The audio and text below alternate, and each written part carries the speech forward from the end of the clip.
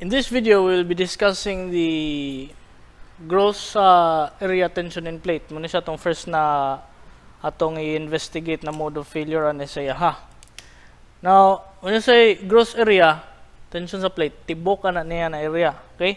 Wala pa na to i-take into account itong mga bangag sa mga bolts.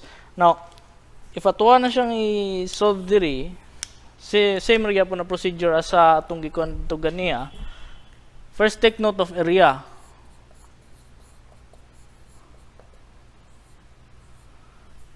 Area ani saya din diri? Area in tension that is equal to 10 times 200 that is 2000 square uh, millimeters. Okay? So there is a area. Kung sura sa denta din eh stress na po denta after ana after area we now proceed to stress.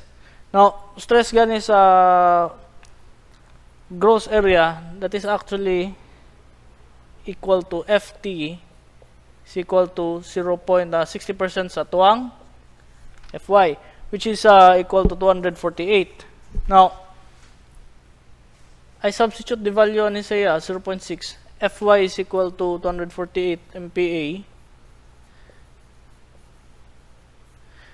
Ft therefore is uh, equal to 148.8 MPa. Okay? Think klaro siya diya. And after sa area da yun, we now solve for force. How much is force? P is equal to by the way, ako lang iklaro din eh. Kini, oh, ah, sige lang. Okay naman muna. Anyway, 80 FT. ET is equal to 2000 millimeters squared m squared 148.8 times uh, 10 to the power of 3 that is in kn m squared. This cancels out. P therefore is equal to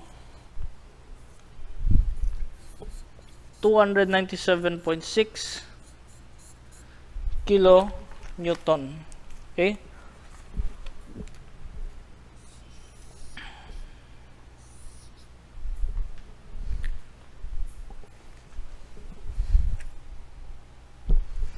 I shall take note of this number and I will list this uh, there is a kilid lang. Okay? E para natay documentation ano siya